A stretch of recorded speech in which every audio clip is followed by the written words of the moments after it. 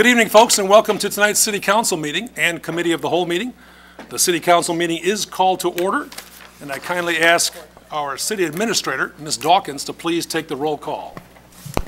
Bruno? Here. Burghart? Hruby? Here. Cawen? Here. Kilburg? Here. Kosirog? Here. Maladra? Here. Marks? Here. Mayer? Here. Swanson? Here. We begin our city council meetings with the Pledge of Allegiance. I would like to invite uh, restaurateur extraordinaire Marshall to please lead us in the pledge. You thought I was going to say something else? pledge allegiance to the flag of the United States of America and to the republic for which it stands, stands one nation, under God, indivisible, with liberty and justice for all. Thank you, sir.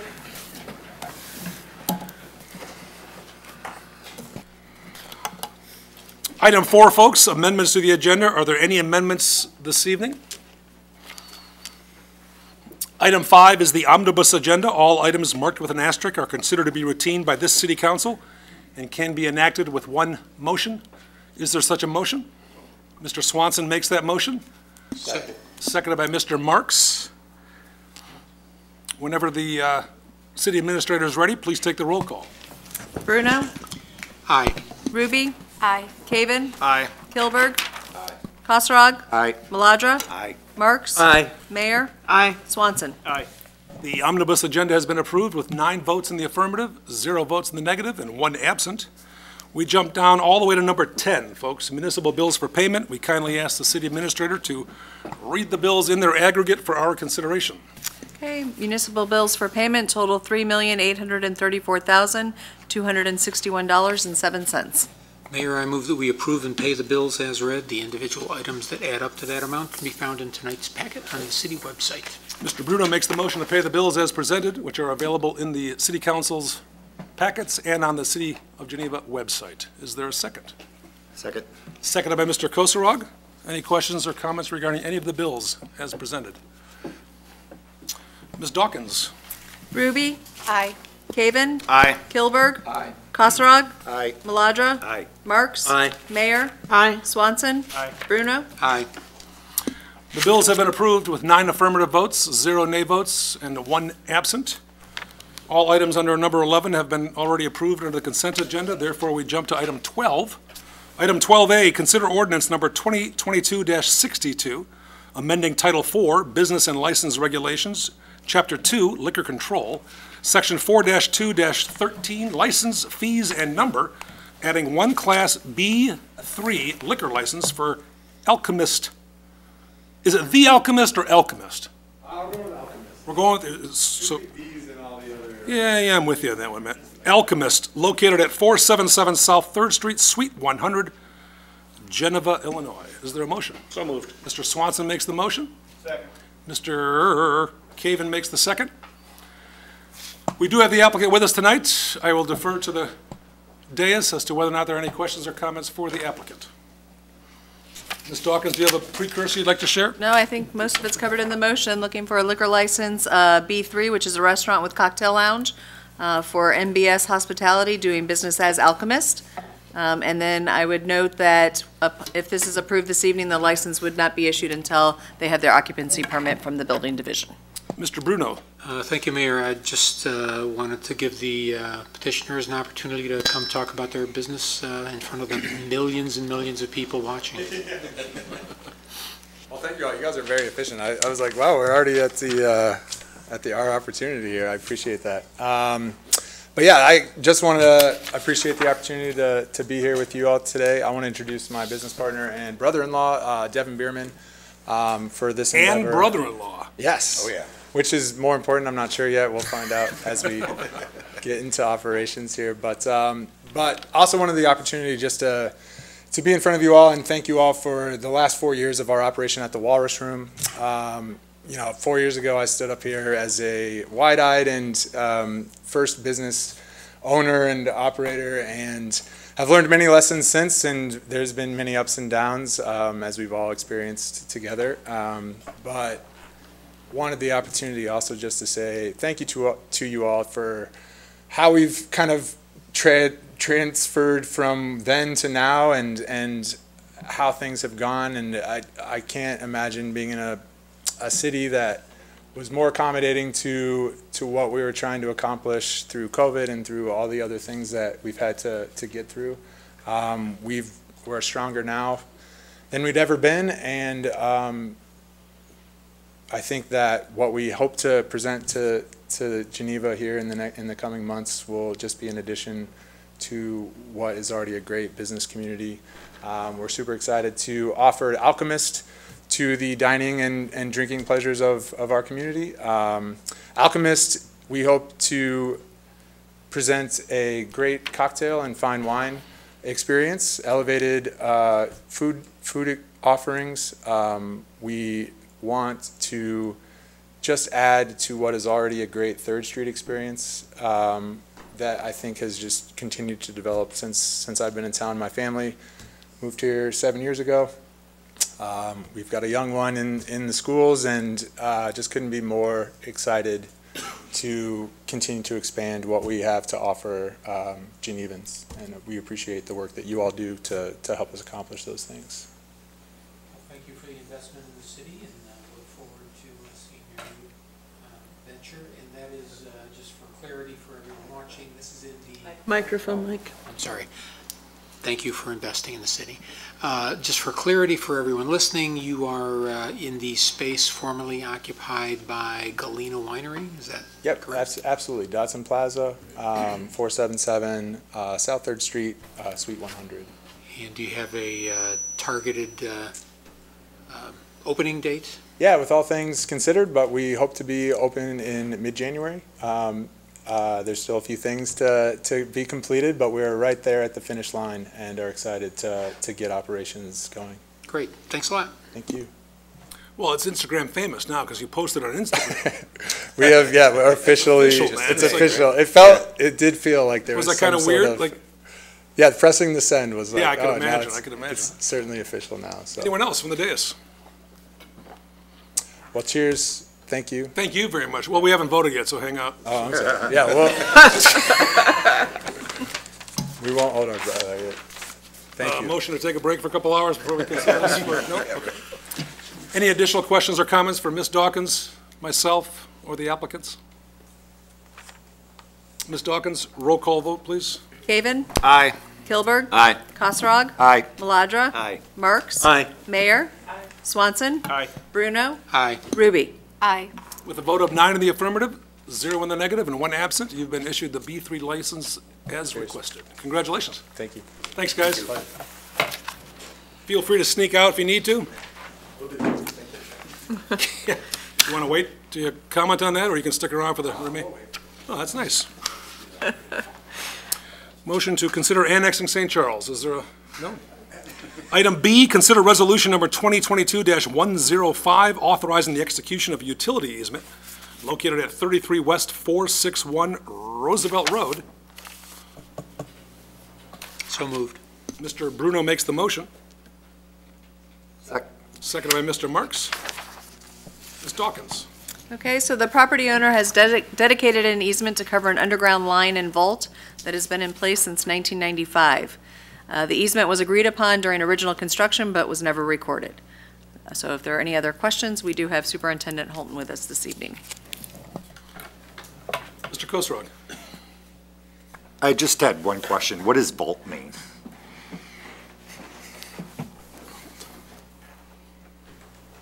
Uh, What is, what is a vault? Well, like, yeah, in this case. Yeah, so it's, uh, it's an underground uh, concrete structure that we use uh, as a pulling point for cable. So cable comes into it from one direction, and then it goes out in a different direction, in this case. Pretty basic. Yep. All right. Thank you. Anyone else? We have a motion. We have a second.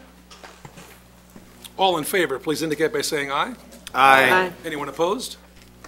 The motion passes with nine affirmative votes, zero nay votes, and one absent. Item C, 12C, consider resolution number 2022-106, awarding bid and contract to LNS Electric for the Keslinger Road and Delnor Substation Maintenance Project in the amount of 85,560 bucks. So moved. Mr. Kilburg makes the motion, Second. seconded by Ms. Mayer. Ms. Dawkins. Okay, as you uh, may have read in the agenda packet, the substation maintenance project was first bid in October, but all bids were rejected, either being in excess of budget or non-conforming to the bid specifications. The project was rebid earlier this month with two bids received, and the low bid was from LNS Electric in the amount of $85,560, which includes the option to repair the load tap changer at the Delnor substation. If approved, work would begin mid to late March and conclude in early April. And again, we still have Superintendent Holton with us to answer any additional questions. Questions from Mr. Holton, the load tap changer expert. Pardon me? Do we want to know what that is? I don't really care. Marshall, do you know what a load tap changer is? Uh, it's over my head. Long as the length is. Okay, we have a motion, we have a second, folks. Ms. Dawkins, please take the roll. Kilburg? Aye. Kosirog? Maladra? Aye. Marks? Aye. Mayer? Aye. Swanson? Aye. Bruno? Aye. Hruby? Aye. Cawen? Aye. With nine votes in the affirmative, zero votes in the negative, and one absent, item 12C has been approved by this council. Item 13 is new business and public comment. Anyone joining us this evening here in the audience wish to address the council on any issue? Anyone online, folks? Public comment, new business, Mr. Kilburg. Oh, uh, I just uh, want to uh, acknowledge that Siobhan Lambelat will be leaving the uh, uh, Park District after over 15 years of service uh, to the community in that role. She'll be lea- leaving the community, relocating to South Carolina, but I would hope that, I would hope that if you have an opportunity to see her, I think next week will be the last week, but as a, as a community, I want to thank her for her service and, uh, and leadership uh, in that uh, important uh, function for the community. So that's all I had. Thank you. Thank you very much. Ms. Mayer? Uh, I was just wondering if we were going to be announcing the winners of the, of the uh, decorating contest. The winner of the staff holiday decorating contest will not be announced until tomorrow, and that announcement will come from our Human Resources Director, Mira Johnson. However, you and I and the other judge, Mr. Maladra, know who that winner is. And there were two categories, individual and group, and the individual actually is from St. Charles, so it's kind of exciting. No, it's actually an office in St. Charles. No. But good, because I can't post anything until she makes the announcement. So it's very exciting. Ben, anything you want to add regarding your necklace? Are you? Well, that's good for you. Anyone else? How about a motion to adjourn the council meeting? Motion by Kosirog. All in favor, please say aye. Aye. We're adjourned, folks. Give us one minute to transition to the committee of the whole meeting. Thank you. Hello, everybody. Welcome to the Committee of the Whole meeting. Tonight is Monday, December 19th, 2022. My name is Amy Mayer. I'm the alderman of the Fourth Ward, along with Gabe Cawen. And I'm calling this meeting to order. For, uh, number two on the agenda is Just say everyone's here but. Everyone's here but uh, Alderman Burghart. I am going to recommend suspending the rules to permit Councilmember Mayer to chair this meeting and to vote on all action items on this agenda. All in, Need a motion and a second? second, moved by Cawen, second by Kosirog. Um, All in favor? Aye. Any opposed? Motion passes. Who's taking the notes so that I'm, you are? Okay. Um, Need item number three, approve regular committee of the whole minutes from December 5th, 2022. So Can I get moved. a motion? Moved by Bruno, Second. second by Swanson. We'll move on to, all in favor? Aye. Aye. Thank you. Any opposed? Nobody opposed. Item four, 4A, consider draft resolution authorizing the purchase of a range advanced training simulator from Milo in the amount of in the amount not to exceed $29,975. Can I get a motion? Moved by Marks, Second. second by Bruno. Um, Would you like me to say a few? Yes, would you Okay. please say a few? So the fiscal year '23 budget includes funds for the purchase of a firearm simulator. Three quotes were secured, with Milo as the low quote in the amount of $29,975. The purchase of a simulator will allow officers to participate in critical training as it relates to the decision-making process when responding to critical incidents. In addition, the recently passed SAFE-T Act mandates additional training in proper and constitutional use of force and de-escalation strategies and training. The use of a simulator such as this is specifically addressed by the Illinois Law Enforcement Training and Standards Board as a mean to meet the training mandates called for in the SAFE-T Act. Uh, We do have with us the uh, chief, I was going to say some adjective there, and I, sorry, tripped over that. So we have Chief Passarelli here if there's any additional questions you might have. I just, I just, Alderman Marks? Chief, just, just a quick, easy question. uh, is this a large piece of equipment? I mean, It's a large screen. okay, it's just um, a screen. So I think it's probably close to about this, this size here. Okay. Freestanding inside the building has, uh, we have plenty of space for it. You do? Yeah. Okay, that's all I wanted to know. I Thank didn't know where, what, it- what, what it was. I mean, how it would work, that's what I was questioning. So thank you. You're welcome. Uh, First Alderman Bruno, then Alderman Rudy, Hruby. Thank you, Madam Chair. Uh, Thank you, uh, Chief. The, uh, I had done, uh, some years back, uh, joined in some of your training on your previous one. It- I looked at the video online. Is this basically the next gen of that? It's very similar to that one. Um, has 800 different programmable scenarios that you'll be able to use. And we have, we've used it for Citizen Police Academy before. Um, we've allowed council members to go through and have the opportunity to, to train on it. So, yeah, it is a little more advanced because they've included a lot of de-escalation scenarios, which is what's required by the SAFE-T Act. So a good portion of the scenarios available to us will allow us to practice those skills as well. It's, uh, it's much harder than Grand Theft Auto. Yes, it is. It is. Thank you. You're welcome. Alderwoman Hruby. Thank you. Um, I was just curious how frequently you think this will be used. Is this an item that you'll utilize daily, weekly? I think we have the potential to use it daily. Okay. Um, There's training for six instructors with the purchase. Um, Our goal would be to use our firearms instructors to be trained along with some others. So if there's a shift where we're over minimums, or there's just availability to have it in our building, we'll allow the officers just to run through some scenarios on shift. So we'll be able to use it quite frequently. Okay. Yeah. I, I was wondering about, um, you know, if St. Charles or Batavia maybe had something, if this is something that um, could be a, a community, you know, multiple community shared piece, but it, but if we're planning to use it that frequently, that doesn't sound like an option. Correct. Okay, right thank now, you. yeah. You're welcome. Alderman Kilburg. Um, As it relates to the SAFE-T Act, did the state legislature uh, provide any funding to support uh, upgrades as it relates to uh, this technology? No, not for this. They did not. So the only thing that they've, Is is this an unfunded mandate? this would be an unfunded mandate, yes. Thank you. You're welcome. Anyone else from the dais? Seeing none, sensing none, let's vote. Uh, roll call. Okay, Kosirog? Aye. Maladra? Aye. Marks? Aye. Mayer? Aye. Swanson? Aye. Bruno? Aye. Hruby? Aye. Cawen? Aye. Kilburg? Aye. Thank you. Unanimous.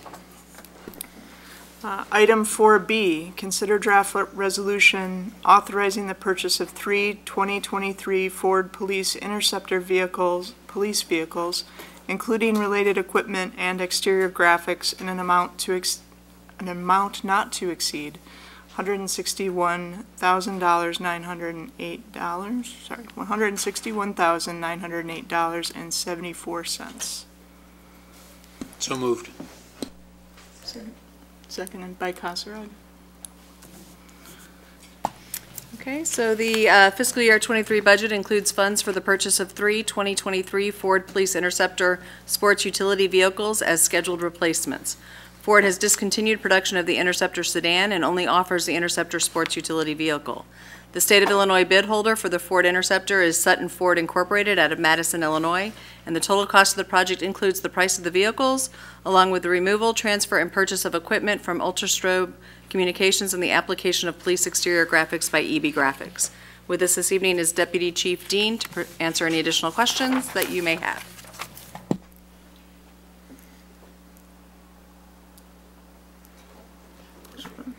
Kosirog. Alderman Kosirog. Hey, Deputy Chief. Hi. Um, I was just wondering how delivery is going on these vehicles. You know, there were a lot of delays and things like we heard last year. Are we, when are we expecting these to be in? Yeah, extremely slow is the answer to that question. Yeah, Um, You know, currently, we have one that is scheduled to be delivered to us.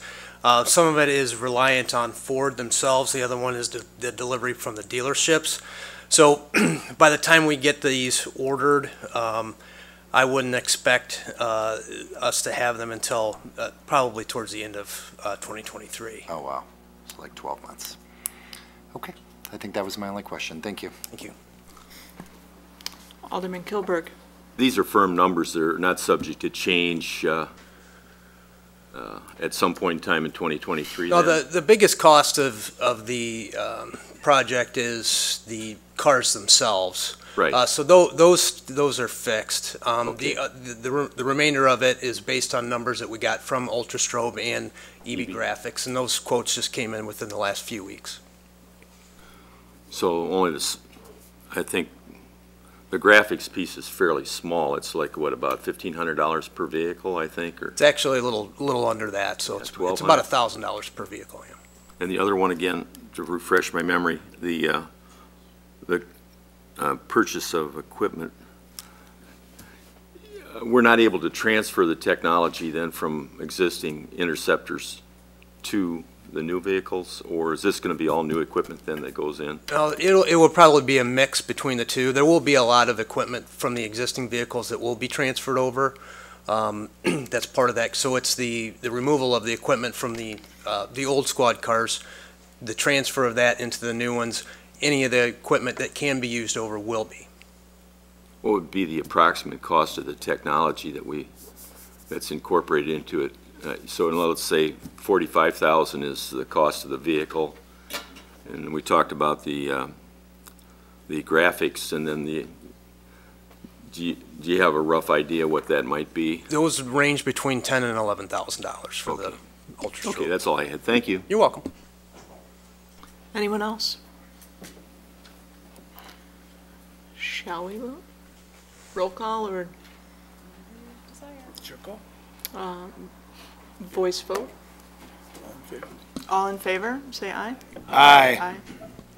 Any opposed? No, it passes. Um, Item D.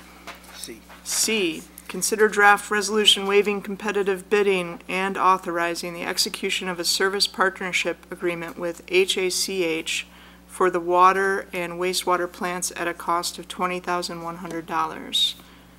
Can I have a motion, please? Uh, Second. Alderman Marks and Second. Alderman Bruno. Okay, so the water treatment and wastewater treatment plants have Hach analyzers and probes. Staff rely on this equipment to continuously monitor such things as chlorine and fluoride levels in the drinking water and dissolved oxygen pH and suspended solid levels at the wastewater plant. This equipment communicates with the SCADA system to control feed pumps, turbo blowers, and other equipment.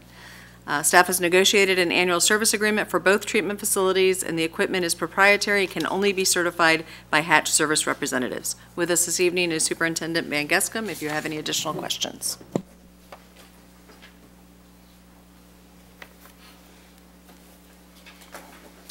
Anyone? I Alderman just had one Kilburg. quick, does this require uh, samples to be sent out, or is this going to provide us with instant uh, information as it Yeah. relates to what might be going on with our water or waste? Yeah, it's, it's instant uh, information, It controls uh, different uh, types of equipment at the plant to make adjustments. So uh, the benefit for us is, is mainly during off hours. So it automatically makes those adjustments so it doesn't upset Oh, the wastewater plant, or it doesn't cause us problems in the, in the drinking water. Okay, so this, these are, these are fixed pieces then? Yes. Okay, thanks. Anyone else from the dais? Let's take a voice vote. Um, All in favor, say aye. Aye. Any opposed? It passes. Item D, consider draft resolution authorizing acceptance of a proposal from GovHR USA LLC for a classification and compensation study in an amount not to exceed $35,500. So moved. Second, second second by Kosirog. Okay, so the standard industry practices recommend that in order to remain competitive, compensation should be reviewed every three to five years.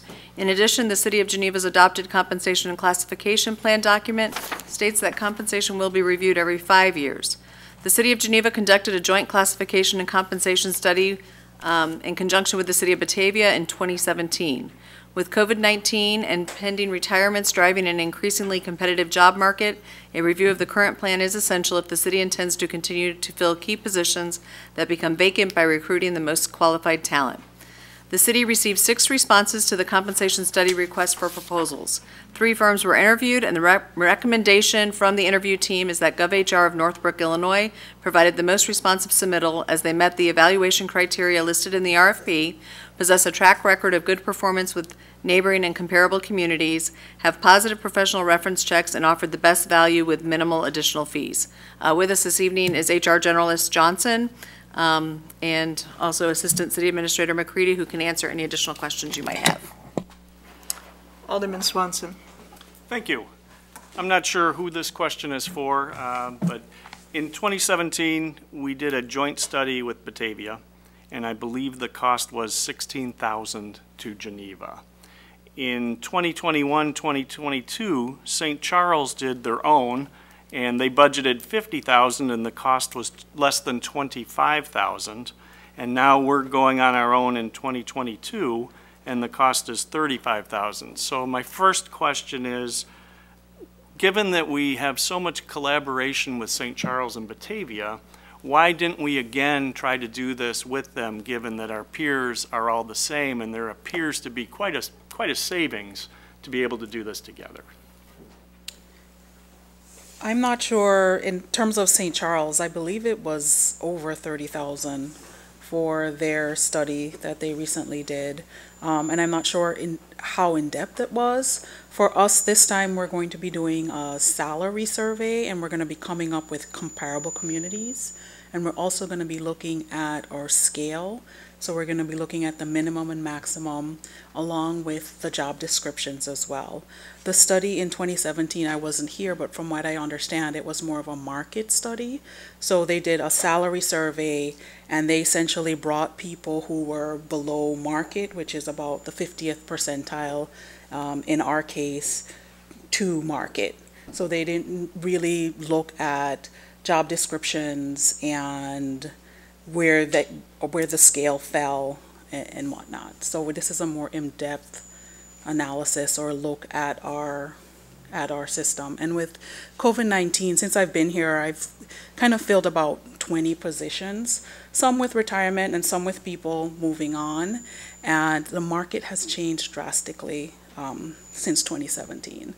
Um, it's becoming increasingly difficult to fill positions, especially middle management positions, like for example, our building commissioner position that we just had, that was vacant. We only got four applicants and one was an internal applicant. Um, our fleet supervisor that's recently became vacant, we've gotten zero applications so far. So I think that's an indication of the job market and also uh, the fact that we need to look at where we're at because we may be a little bit out of whack. I, I understand that we could be out of whack. I, I I know that St. Charles compared theirs to 18 different peers. I know ours was 12, and we asked for 12. I, I guess, looking at the executive summary, it, it said that six firms responded to the RFP, and then we invited three back. Can you share what the ranges of the proposed fees were for some of those? Sure. For, for So- all of them? Yes. So um, at the top end, we had um, eighty-three thousand four hundred and thirty, four hundred and eighty-four dollars. Um, the second firm was a fifty-five thousand, and that was actually the firm that that got the bid last time in twenty seventeen. Um, and then JER HR Group, they were at forty-two seven hundred. Then we had Paypoint HR, they were at thirty-seven thousand five hundred. GovHR was at thirty-five thousand five hundred, and then Baker Tilly was at thirty-one thousand one hundred. Okay. Um, One of the questions that was asked by the RFP responding firms was, what have you budgeted for this? And we responded, it was 30,000 plus some more for TRICOM. And imagine that, but then most of the bids came in at that level. Do we ever say we would prefer not to share what we budgeted and instead just go in blind and say we would prefer that you tell us what you think it's going to cost? Seems like we gave them what our floor was. And that's just a question of, Well, it's all public record, it's all online, it's all there, so. understood. I, I, I guess we handed it to them, but, so, okay, I understand. And, and my final question is, we are looking at this for 156 employees, which is pretty much our entire employee base. And so are we including our union contracted employees as well? No, this is for non-union um, employees only, not our Okay, s- union. employees. So the 156 that was in the documents, that, that would include union, would it not? So I thought we were at 151 employees. I think I know, I think the, what you're referencing was, there was um, a question in the document, information provided of how many employees we had, but there was other parts of that, of, of the RFP where they talk about the positions and looking at the positions and then looking at the individuals and those positions, so. On page 32, it says 68 positions in the organization and five with TRICOM. Okay, so, so it, it, 68, okay. So, and then looking at the references that were provided by GovHR, most of them were for similar-sized cities or larger. For example, St. Charles, they looked at 80 positions, we're looking at 68. Um, Dedham, Massachusetts, which is larger than us, was 90. Lincolnwood, Illinois was 33. Lisle, 33. So, so why, why is our employee count so much higher than other municipalities? I guess we don't know what positions they did in other municipalities. We don't know if it was all in positions, if it was only certain departments. Um, I, I can't answer that question without calling every organization and saying, how many employees do you have? How many are union? How many are non-union? What was your study for? Not everybody always does all employees at once, so I don't, I don't, we don't have an answer for that. Okay. Fair, fair enough. It just, it, it, to me, it seemed like it was an eye-popping amount that we're, we're trying to do to pay here for this consulting agreement. So I was just trying to figure out why, I mean, I understand why we're doing it, but it's, this particular project seems very high-priced, so. I, I will say the last study was more of a market study, so more of just a salary survey. This, I would say, we, we're gonna look at job descriptions and we're gonna say, you know, are you, do you, where do you fit? Are you, you know, is there everything in here in your job description? So it's more, much more comprehensive.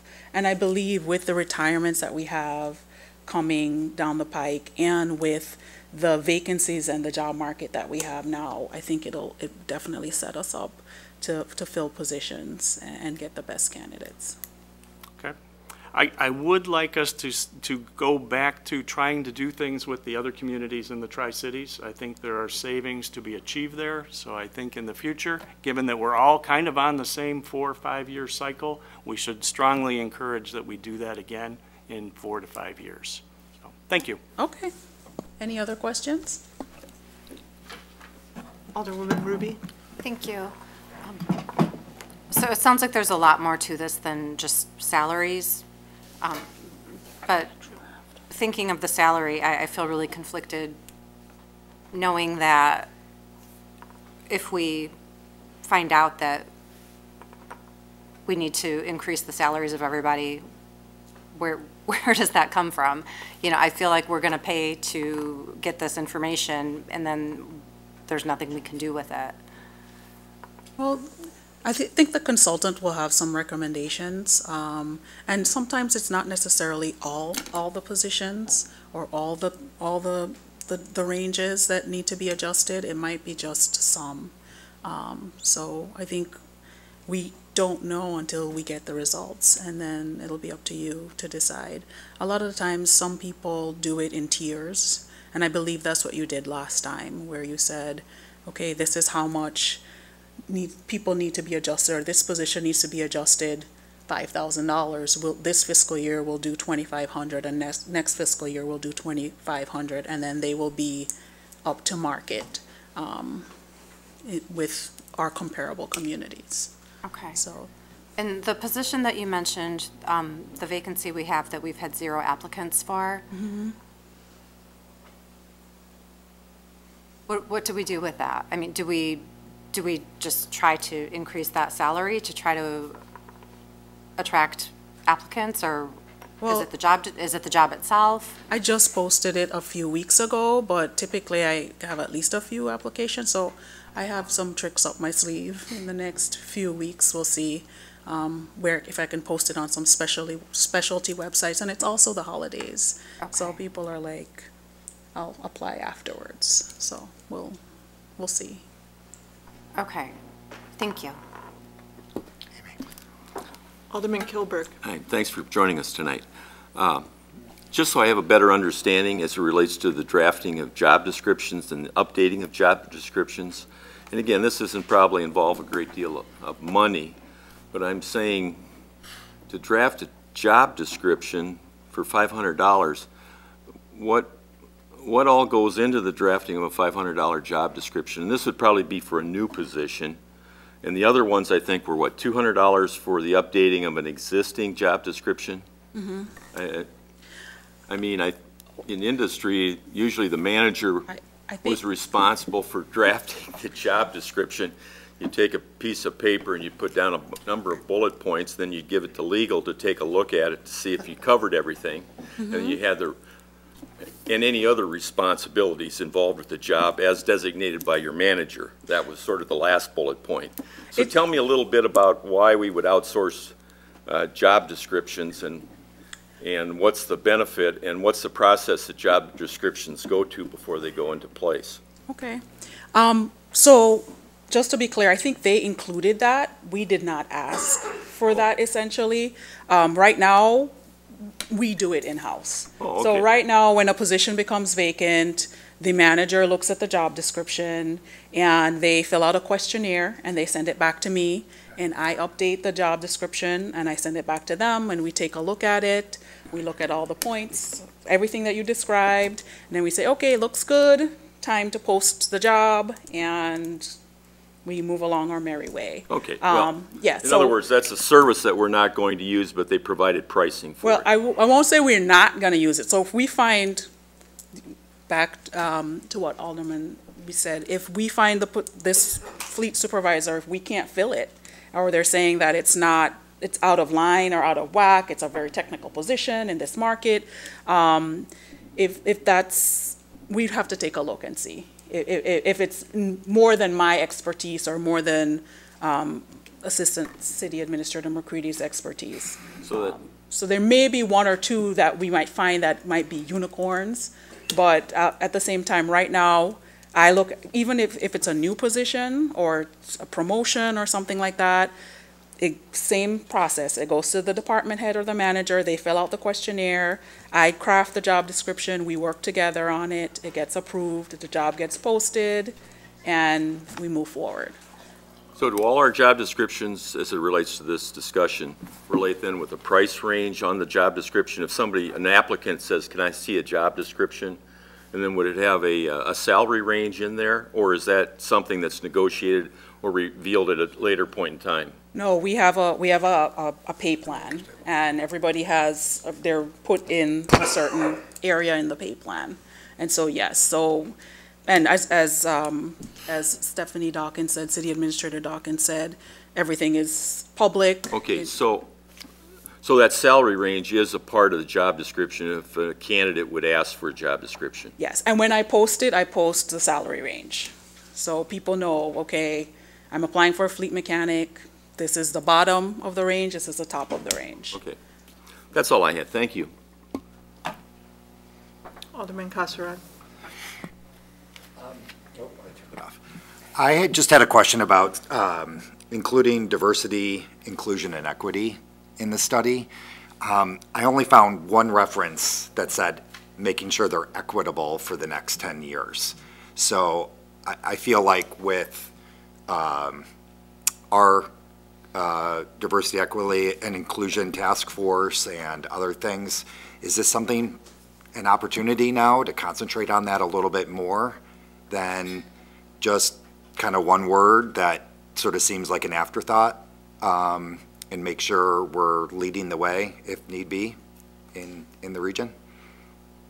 Well, in terms of pay, I mean, I, I think there are other ways that we can do it, and um, Assistant City Administrator McCready and I have been working on um, like a diversity, equity, inclusion statement um, for the web, for our HR website. So when, you know, we have a job posting up, instead of saying Geneva is an equal opportunity employer, we say Geneva welcomes diverse and minority candidates. People are encouraged to apply, um, not necessarily just based on their education, but based on their life experiences as well. So I think we're working on that portion of it, and, and I, I think we, we should be set up. And also, we have our DEI task force that they are working on other things that they would suggest in the future, whether it's, uh, um, 180 evaluation or self-evaluations or um, implicit bias training or things like that, um, that can also factor in, in, in DEI. And I don't know. I was just gonna, I mean, um, in, in terms of looking at compensation and using the term equitable, many times what we're looking at is looking at a, different functions through, throughout the organization. Um, everyone has an important role to play here at Geneva every day, but it's, it's trying to look at the skills, um, look at how those skills are compared to skills in other departments, what's required to do the job. And it's, it's looking apart, across very diverse operations within the city and seeing, you know, how does, how does a fire lieutenant and what, what skills they need to be successful in their job compared to someone who's a wastewater treatment plant operator and what skills or credentials they might need to do. And so we're, we're not necessarily, um, you know, saying one division or one part department or one divi- um, function is more important than the other, but looking at how we adequately accommodate people, knowing um, that there is a lot of variety in what people do here. And it's, that's part of where the consultant and looking and digging into those job descriptions helps of really taking an objective look, um, using our scoring system, looking at our classification plan to see how this translates throughout the organization. And um, to maybe some comments we've heard earlier, looking at our collective bargaining agreements and looking at how compensation between supervisors, non-supervisors, and other, and other positions relate to each other. Um, um, I don't think Mayor has touched on it yet, but one of the greatest challenges um, that affects recruitment for us, and even internal recruitments, is looking at compression, um, how different contracts then impact non-union positions, and making sure that the pay is competitive, and making sure that we have people who want to step into supervisory roles, um, take on management roles, and take on that. Um, but to your point, um, and to bring it back full circle here, Mara has done a tremendous job um, thus far. We've been working on looking at on at the DI front on our website. Um, Mara serves as liaison to the DI task force, as you know, and rather than necessarily wait for all the recommendations to come forward, she's definitely identified some things that that we can do now um, hopefully set us up for success, and then wait to see what other recommendations they have. And we also do have a point factor evaluation system, which kind of speaks to equity across the organization. So it asks, for example, um, what degree of education does this position need? And there's a score, you know, technicality, then there's a score related to it. And you, you kind of, and it gives, it gives examples, like does this person, is it a front-facing position? Do they have to answer the phones every day and speak to residents? Or is it something, someone that speaks with elected officials? Is it someone that, and then it, it ranks ranks it and then the score spits out it spits out a number at the end and then we all we rank it in the in the comp plan so Okay. I mean, that all sounds great, and obviously more than I knew was happening. Um, I just maybe would suggest that we sort of emphasize with them, um, with GovHR, that the equitable job descriptions, you know, i- i- maybe that we're really looking for feedback on that as well. If they can, it seems like it's incorporated into the quote already, since it's in that, so, um, I, I don't know. That would just be my suggestion, and it would be interesting to see if any results became of, became of that, whether it was from this conversation or just your own with them. Okay. So, thank you. Thank you. Um, I was going to add something similar to that, but um, I, I have another thought that I'd like to ask about. If, if we are having trouble recruiting locally and people that are in this region, do we, do we outreach as well? Um, And on the diversity, equity, and inclusion front, are we reaching into neighborhoods where there's low employment? That's, We haven't gotten there yet. We're working on it.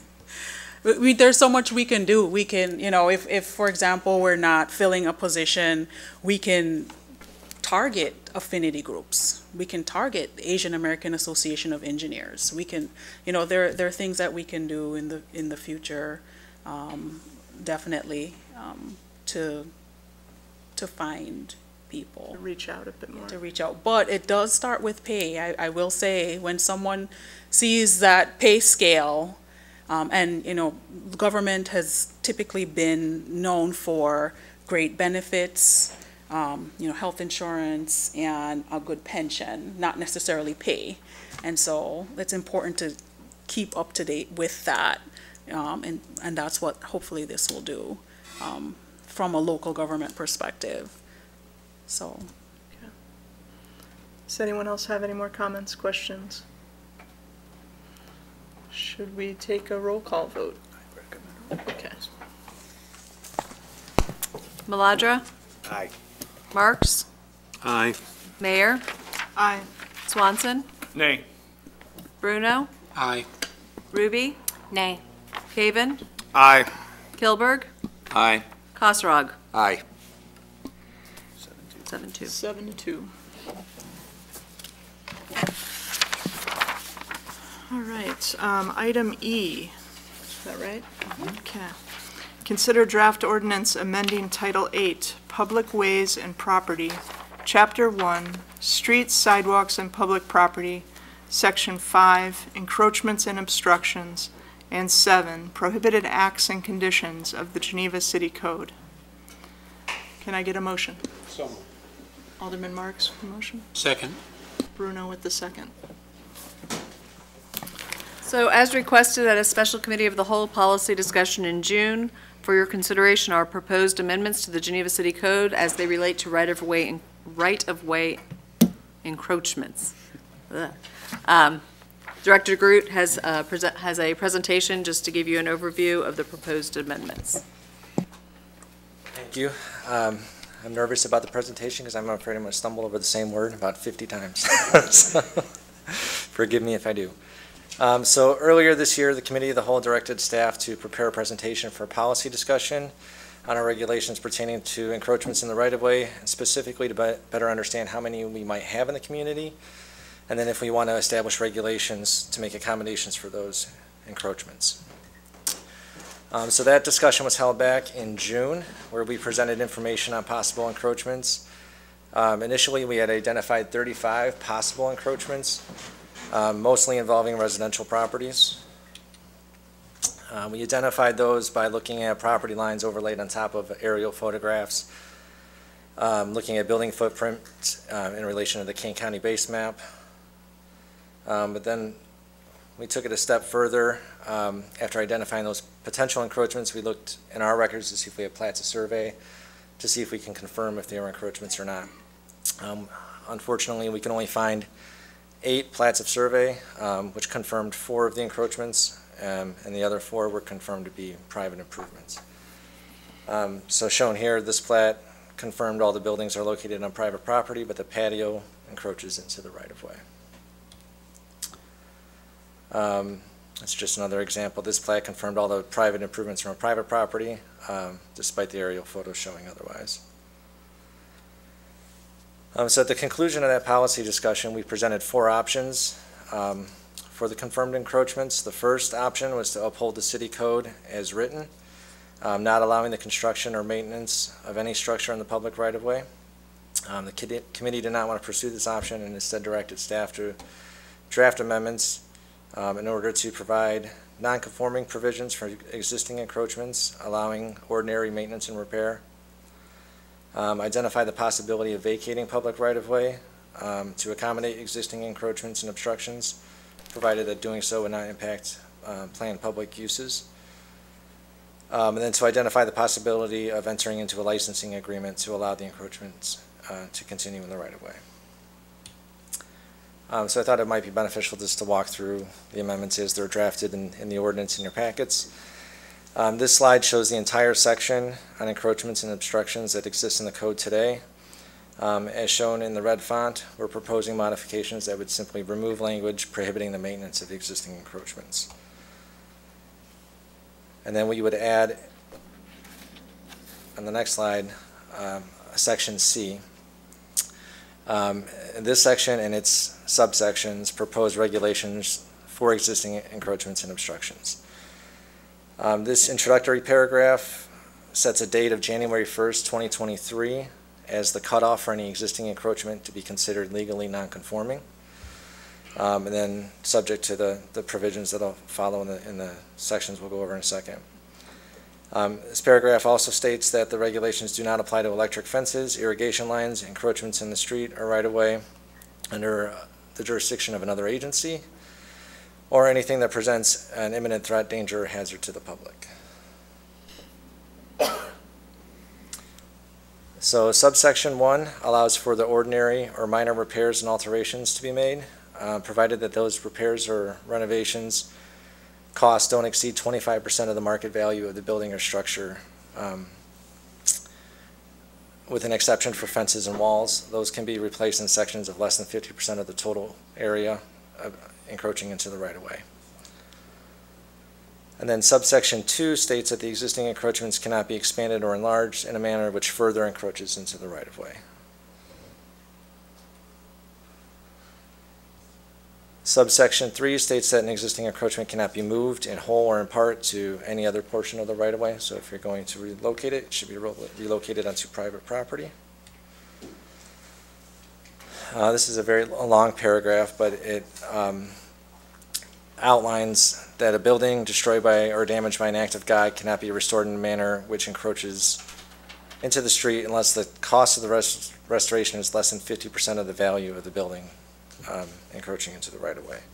It's very similar language that we have for non-conforming buildings on private property in the zoning ordinance.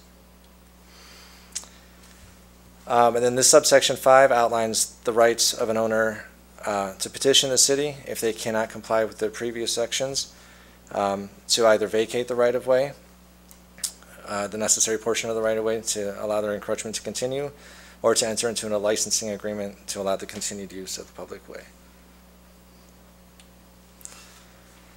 And then the final subsection here states that any encroachments shall not be expanded, renewed, or altered if they interfere with the permitted public use, including sidewalks, control, traffic, traffic control devices, that's the one I'll trip on, public utilities, and that the city is not liable for any costs or damage to an existing building or encroachment resulting from one of the permitted uses for the public right-of-way. And then the final amendment you'll see in the draft ordinance um, is not necessarily directly related, but we wanted to take this opportunity to clarify that the staging of equipment, material, or debris in the public right-of-way overnight is prohibited um, unless we otherwise permit it with a right-of-way permit.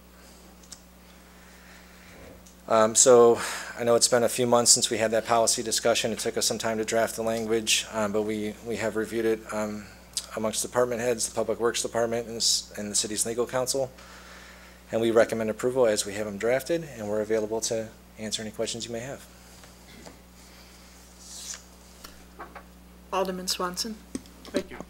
Um, I had an example, oh, a year and a half ago, and I'd like to walk through what would happen to that example under these proposed changes.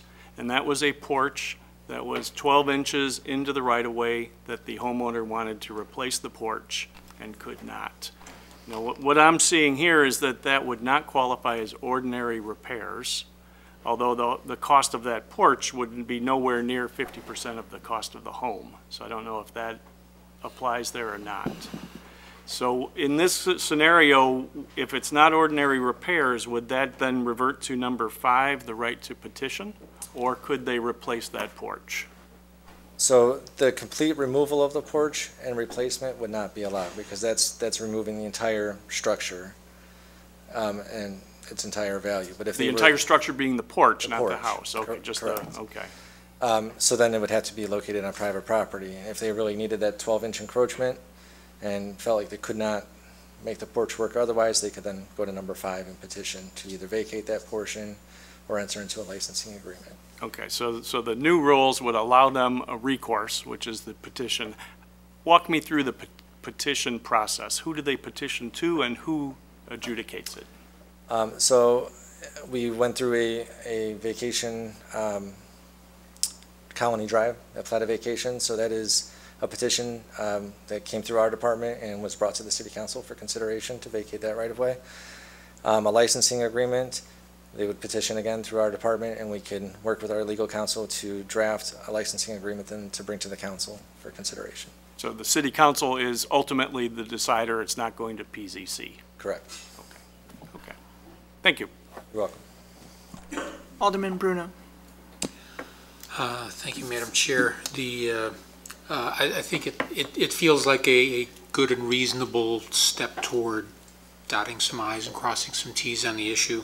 Um, And this, this would probably be picking nits. Uh, The reference to electric fence, uh, I presume this is like the uh, dog containment, uh, invisible fence type thing? Right, if we're doing our utility work in the right of way, we don't want to come across surprises such as electric fences, irrigation lines. Uh, I've, I've cut our elect, our, our invisible fence many times. Um, But I, I just didn't know if there might be a, a more general term for that. You know, I think of electric fence being like cattle containment. Right. and- I don't think we want those either. No, you don't want those. That, that's really the only thing that jumped out at me. Thanks. Alderman Kosirog. So, um, obviously you studied other communities, but, um, and incorporated that into here, but I was wondering if you could, you know, just briefly maybe tell us what is normal and where we're deviating from other communities with these provisions. Yeah, honestly, we didn't find much help from other communities. Um, The norm was not to allow any obstructions in the right of way, any maintenance of those obstructions in the right of way.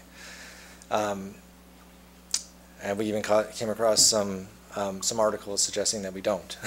So the, the norm was definitely not to make accommodations for encroachments in the right of way. Um, Then, I mean, I'm, I'm assuming every city has encroachments into the right of way. Um, Probably because they weren't caught by final inspection or things like that. Would, you know, like the front porches. I mean, I know some of it's historic too, but more the modern stuff or the fences and things like that. I think, um, in our case, most, most of them are older structures, um, that were done probably before plats of survey were required for every permit, or maybe before permits were being pulled. Um, there's certainly obstructions that happen just because a homeowner went out and put in a decorative fence or a landscape feature or something like that as well. So I guess I was just trying to figure out, um, what would another city do, say about Bob's porch situation? I think that the standard language we found was that if you're, if you're replacing that porch, it should be replaced onto private property. Unless there was, like, we ran into an issue, um, catty corner from us here at the country house, where there, there was nowhere to go. The building was right on the property line, and that, that stoop had to be in the, right- in the right of way. And then we entered into a licensing. Um, But the porch would have been allowed to, in, in other cities, in sort of maybe the more typical code, would have been allowed to exist, just no modifications, no repair, no license to do anything to it.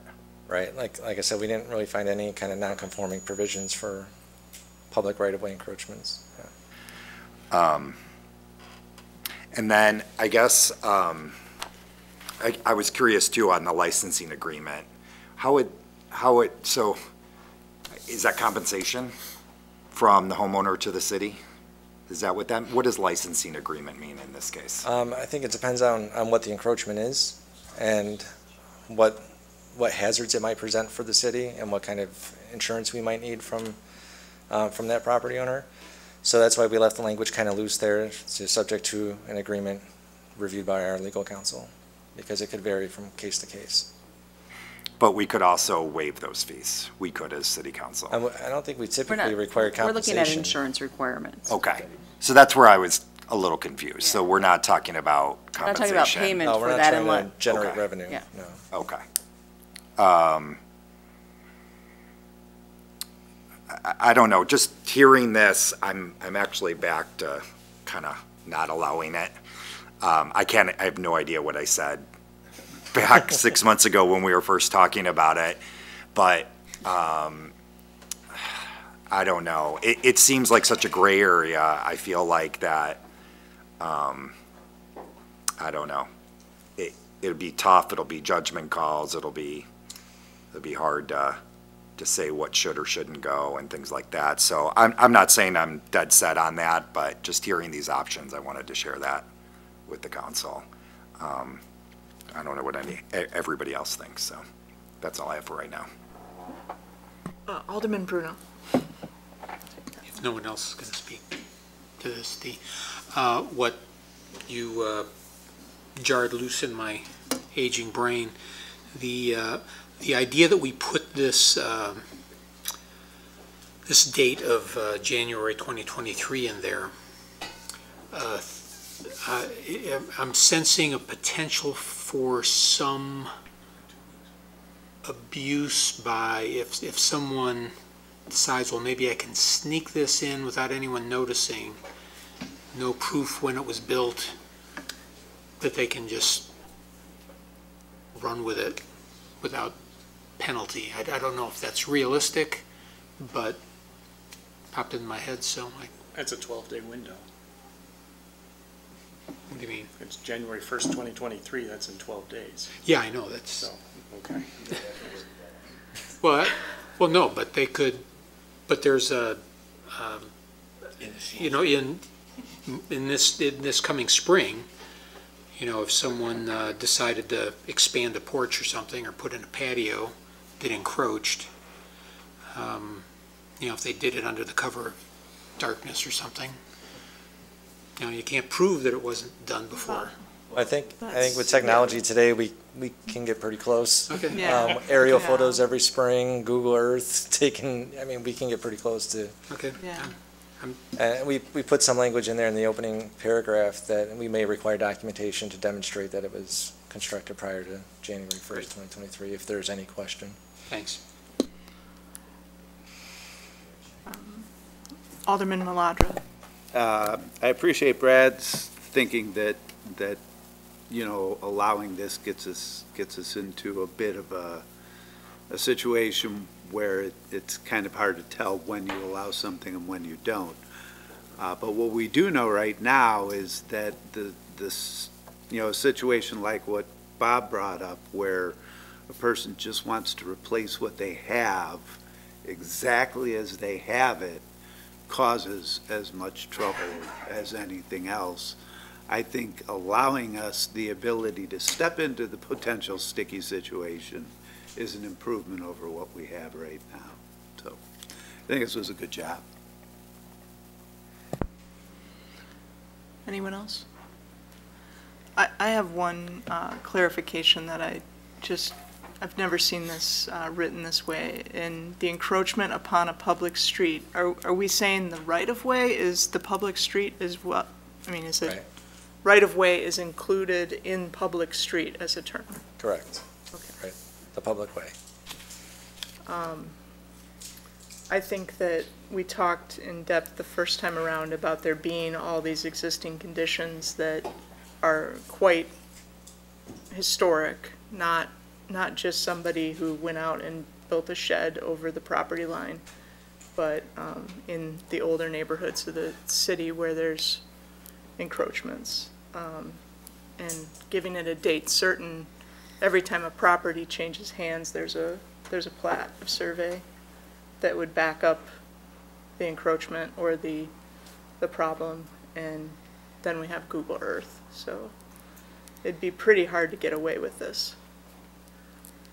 Especially if you were a new owner moving in, you would have a plat at closing that would limit your ability to, to put an addition on that was encroaching. So maybe one thing, if, if I, if you don't mind. Oh, sure. um, That I'm not getting, is this, re- is the code just retro- retroactive for the 34 properties? Or does it include the, uh, the future too? Does it include, you know, the homeowner who does his own handyman work, built his own porch? It would not include that. So setting the date as January 1st, 2023 is saying that if you, if you have an existing encroachment prior to that date, you may modify it under these minor ordinary repairs, under these conditions. But if you constructed that afterwards, you did so illegally, and we can require you to remove it. Okay, I think I was, I was, that's where I was a little mixed up. I, I I definitely don't want to get into taking down historic structures or anything like that for a few inches of encroachment. Um, I just wanted to make sure these options of petitioning the city council for a licensing agreement aren't a possibility in the future if they knowingly, uh, you know, encroach on the right of way. Um, Obviously, it wouldn't be approved in the plan, so it would have to be. So you can't come to us and ask for a licensing agreement if this happened in 2024 or next summer in As, 2023. as drafted, no. As drafted, no, okay. Well, that makes me definitely feel better on that. Thank you. Any other comments from the dais? Uh, Voice vote? Depends on your. Let's do a roll call vote. Marks? Aye. Mayor? Aye. Swanson? Aye. Bruno? Aye. Hruby? Aye. Cawen? Aye. Kilburg? Aye. Kosirog? Aye. Maladra? Aye. All right, it's unanimous. So um, now I'm going to open it up for public comment and new business. Anyone have anything they'd like to add? Anyone online? No one's online. Surprising. Um, Then, may I get a motion to go into closed session? There will be, oh, I got to read the full. Yeah, on Okay. pending litigation. on pending litigation pursuant to ILCS 120 slash 2C11 and purchase or lease of real property for the use of the public body pursuant to ILS, ILCS 122C5. May I get a motion to go into closed, closed session? Marks with the motion. Second. Second to Swanson. Roll call vote. Mayor? Aye. Swanson? Aye. Bruno? Aye. Hruby? Aye. Cawen? Aye. Kilburg? Aye. Kosirog? Aye. Maladra? Aye. Marks? Aye. And I'll add that no action will be taken on any items discussed this evening. I need a motion to go back into regular session. So, second. Second by Bruno, moved by Marks. Uh, Voice vote or roll call? Voice vote, please. All in favor? Aye. Aye. Any opposed? So moved. One more thing to do. If I may, before we call for the adjournment, just a reminder, there is no meeting on January 3rd. Our next meeting will be a special committee of the whole meeting on January 9th. So you have the next couple of weeks off to enjoy your holidays. For the benefit of residents, we have a pretty significant snowstorm headed our way, so maybe somebody might want to make a comment as it relates to what we, what Public Works might expect uh, uh, from our residents as it relates to parking on the street and, and cooperating and working with Public Works so that we can get the snow plowed, because uh, uh, it looks like uh, we're going to have two or three days that are going to be pretty difficult. So go ahead, Stephanie. we'll As I let say, so there'll likely be a parking ban in effect, which comes into effect if we expect more than two inches of snow, but I would uh, suggest that residents continue to check our website. We will be updating the website, and we will be sending out alerts. Thank you. Thank you. Uh, Could I get a motion to adjourn? So moved. Uh, Marks, all in favor, say aye. Aye. That's it? Oh, I gotta do this? You get to Thank you do very that. much.